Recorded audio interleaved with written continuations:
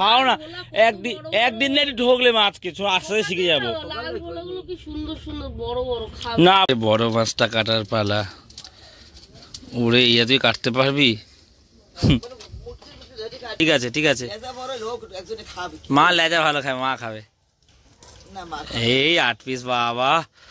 কত হিসাব কত লেজাটা তুমি খাও তুমি খাবে বড় লেজাটা। ঠিক আছে মা? না না না তুমি খাবে।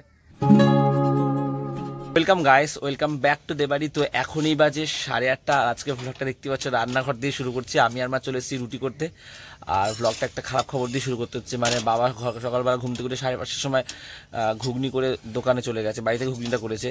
মানে আজকে থেকে স্টেশনে স্টোভ জ্বালানো যাবে না। কালকে মিটিং হয়েছে, কালকে মিটিংয়ে সোজা বলে দিয়েছে, আর দেখলে পাঁচ হাজার ফাইন সবার ফটো তুলে নিচ্ছে যাদের যাদের স্টোভ জ্বালছে। বা স্টেশনে আগুন জ্বালানো যাবে না, কোথায় নাকি স্টো- স্টোভ বাস্ট হয়ে আগুন লেগে গেছে, তারপরে কড়া সিদ্ধান্ত নিল। আগে একবার হালকা কথা উঠেছিল, কিন্তু তখন বন্ধ হয়নি। কিন্তু এই রিসেন্ট যে ঘটনাটা ঘটেছে, তার জন্য পুরোপুরি স্ট্রিক্টলি অফ করে দিয়েছে। এবার আমাদের তো তেলেভাষা দোকান বহু লোকের সংসার চলে, এটার উপর নির্ভর করে। এবার কীভাবে কি হবে, না হবে, সংসার চলবে, সবার বুঝতে পারছে না। আমাদেরও সে সমস্যা, কারণ বাবা এতদিন ধরে এরকমভাবে দোকান করেছে এত কাস্টমার রেগুলার কাস্টমার ঠিক আছে? এবার ওর জন্য চা তো চলতো চাটা বিক্রি করবে, মটর মুড়ি আর ঘুগনি মুড়ি বিক্রি করবে। আর কয়েকটা চিপস টিপস বাবা দোকান সাজায় বলেছে। তো বাবা তোর জন্য চলে গেছে আর রুটিটা হয়ে গেলে আমিও চলে যাব দোকান দেখে আসি কোনো বাবার হেল্প টেল্প লাগে। মানে মুডটা খারাপ সকাল সকাল আর কি। তাহলে আজকে বাজার মানে কি রান্না হবে? তার ডিম করো বাবা। আমি মাছ আনতে ভালো পারি না আমি তো দোকানে যাব একটু আর বাজারে কখন? আজকে তো রান্না ঝামেলা করলে কারণ দোকান টোকান যাব ডাল সিদ্ধ আর ডিম করতে ভাজা। ডিম খেয়ে ডাল খেয়ে তোরা খাবি। মাছ করতে না?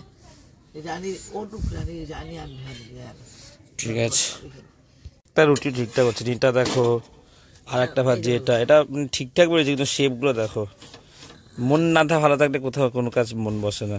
তোমরা যে চারটের সময় একবার উঠেছিল আমি কিন্তু খেয়াল করেছি কিন্তু শরীর এত শরীর খারাপ আমি যেন বিছানা থেকে উঠতে পারছি।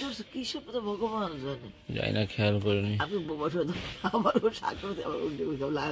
অনেক জোরে কান্না করেছি? হ্যাঁ বদলে খুব কষ্ট আমি জানি। বাবা কটার সময় উঠেছে? আমি যে একটু উঠবো তোমাদের হেল্প করব আমার শরীরে জোর নেই। পেট খারাপ হলে জানো তো শরীর পুরো ছেড়ে দেয়। ওই বোন ঘুম থেকে উঠে গেছে আর আমি আর বোঝাচ্ছি যাচ্ছি বাজারে যাই না কি মাছের দোকান কারণ এর আগে বেশ কয়েক মাস আগে আমি বাজারে একদিন গেছিলাম। পচা মাছ নিয়ে এসেছি ঠিক আছে? কাকু বলছে কাকু পঞ্চাশ টাকার মাছ দাও। না না তেলাপিয়া মাছ। পেট পচা মাছ বলছে ভালো দেখে দিও বলে দিয়ে দিয়েছে।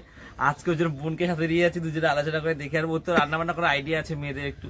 তো চলো যাওয়া যাক আর দেখি কি বাজে আনি ঠিক আছে চলো। সুরাজদার সাথে দেখা গেছে বাজারে যাওয়ার আগে।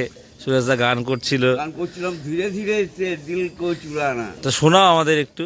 ধীরে ধীরে সে মেরে জিন্দগি মে আনা ধীরে ধীরে সে দিল কো है চুরানা বাহ খুব সুন্দর।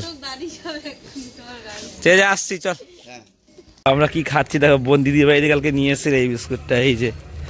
ঠিক আছে দিদি দিয়েছে তো এটাই খেতে খেতে বাজারে যাই চলো। বেশ ভিড়টা দেখো রবিবার না? বাপ রে যাই হোক বাজারটা ঘুরে দেখি কি কি নেওয়া যায়। মাংসের দোকানের লাইন বাপরে। আখের রস খেতে। এইগুলো কি মাছ গো? চিংড়ি আছে চিংড়ো আছে এদিকে রুই আছে। এই রূপচাঁদ মাছগুলো ছোট ছোট একটু। মোটামুটি অনেকক্ষণ আমি আর বোন ঘুরে দেখলাম। তবে জ্যান্ত মাছ নেবে বলে আজকে এসছি। ওই জন্যই যাচ্ছি আর। ওখান থেকে তুমি চোখ বন্ধ করো সব কটা মাছ ওকে আছে তুমি চোখ দিচ্ছি চোখ দিতে হবে না নাও নাও। একটাই। দেখো কত হচ্ছে। চিনি নিচ্ছি কিন্তু কাটতে দশ টাকা আছে দুটো মাছ, ওই জন্য বোন বলছে বাড়িতেই কেটে নেবে। চলো বাড়িই যাই। দশ টাকা নিচ্ছে, রানী বলছে বাড়িতে কেটে। আমার লজ্জা লাগে জানো পারি না, কেমন অস্বস্তি হচ্ছে। যাই না ঠকেছি না জিতেছি। জ্যান্ত মাছ এনেছি। বলল পারবে, এই দুটো মাছ হবে না মা? তাহলে রুটিটা দাও আমাদের দোকানে যাই। কি বললাম? ঠিক আছে আমরা তো যাই না। ঠিক আছে আমি আর হাত পা ধুচ্ছি তাহলে একেবারে যাব ওর জন্য। ও মা আমরা কি ঠকে গেছি? একশো টাকা। টাকা ওর কথা অনুযায়ী তো আরে আমি বলেছি কাকু একশো টাকা করে দাও। টাকা করে দাও। আরে এত বুঝিনি এই ব্যাপারটা।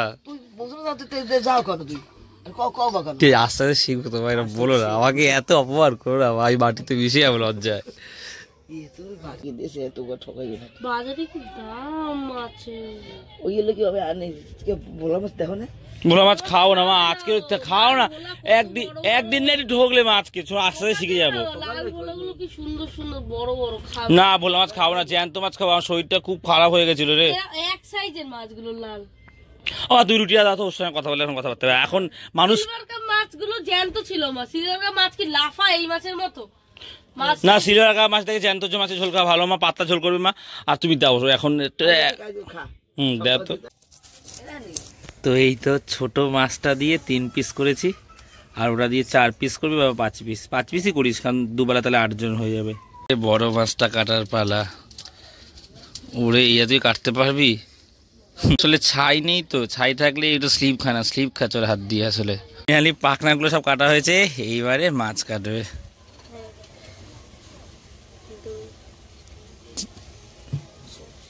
হুম পাঁচটা হয়ে যাবে। মাছটা বড় চওড়া না? না না। কি স্যাপ স্যাপ পাতলা পাতলা বলো। আটটু শুরু হ্যাঁ হ্যাঁ কর বেশি বেশি হবে না মানে টাই টাই হচ্ছে। এটা দিয়ে চার পিস করলেই ভালো হতো বুঝলি?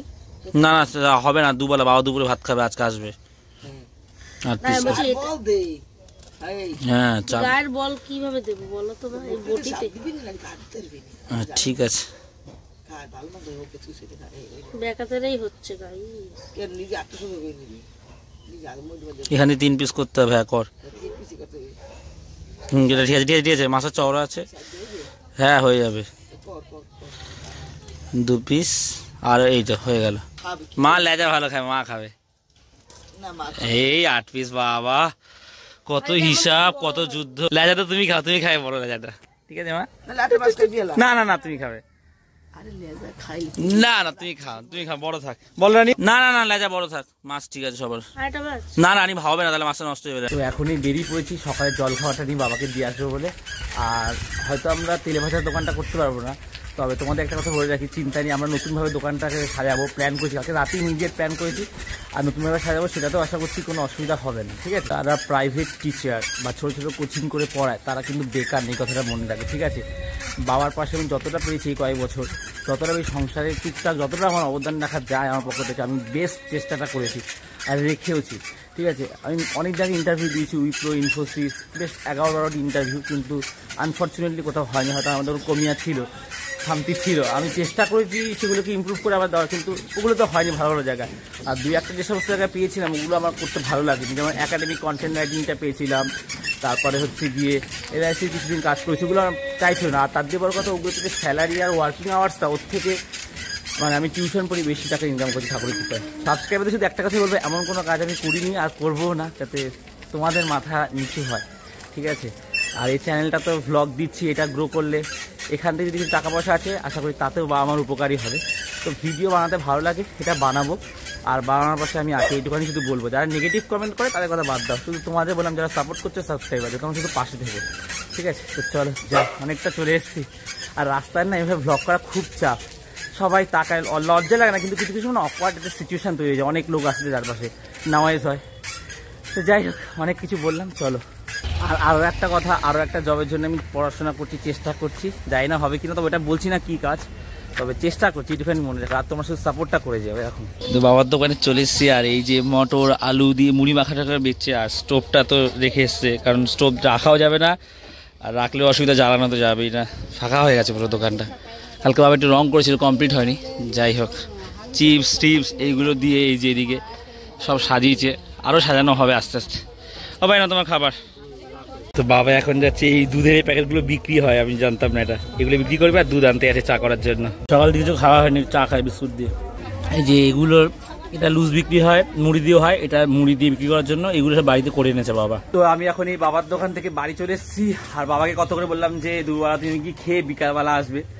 আর মা আর বোনও ফোন করে বলল, কিন্তু বাবা রাজি না, বাবা বলছে দোকানটা এখন আরও সাজাতে হবে।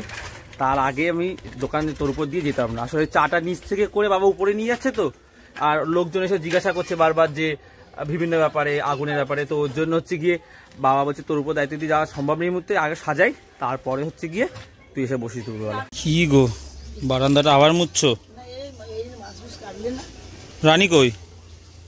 ঘরে? ও আমি হাতটা ধুয়ে আসি খিদা পেয়েছে কিছু তো খাইনি সকালে রুটি তরকারি এটা খাবে এবারে। ঠিক আছে অত আর মুছতে হবে না বোন তার পরে মোছে। যে রুটি আর তরকারি খাব টিন টিন কেউ নিয়ে এসছি। খাই চলো খুব খিদে পেয়ে গেছে। তো এখন এই চলে এসছি একেবারে স্নানও করব। আর এই গেঞ্জিগুলো কয়টা নিয়ে নিয়েছি গেঞ্জি আর প্যান্ট এগুলো একেবারে কেচে দেবো চলো। এখন এই খেতে বসে গেছি আর তার আগে বাবাকে ভাত দিয়েছিলাম এই পালং শাক হয়েছে আজকে আর এই যে মাছ মাছগুলো তো সুন্দর লাগছে দেখতে জ্যান্ত মাছের ঝোল। বেশ ভালো বড় বড় পিস হয়েছে। তো চলো মা ভাত বাড়ুক তারপর সবাই একসাথে খেয়ে নি। এই বাজে সাড়ে চারটে, আর আমি যাচ্ছি একটু পড়াতে, কারণ আগে একটা ডেট কামে হয়েছিল, ওটা আজকে এক্সট্রা ডেট দিয়ে দিয়েছি। আর পড়িয়ে একবার বাবার দোকান হয়ে আজকে রাতে বাবার সাথে একসাথে বাড়িতে আসব। তো আজকের এই ভ্লগটা এখানেই শেষ করে দিচ্ছি। যদি ভালো লাগে লাইক করে দিও, আর বাড়িতে প্রথমবার আসলে একটু সাবস্ক্রাইব করে দিও। তো আবার কাল কথা হচ্ছে। চলো, টাটা। রান্না বসিয়ে দিয়েছে। আজকে বেগুন, শিম আর আলু দিয়ে একটা চচ্চড়ি মতন হচ্ছে। সরি আমি একটু ভুল বলেছি। মা আমাকে ওই জন্য আমার বকা দিলে জন্য আমি এটা কেটে দিয়েছি। পালং শাক হবে এটার মধ্যে আর কি। এইসব দিয়ে পালং শাক হবে।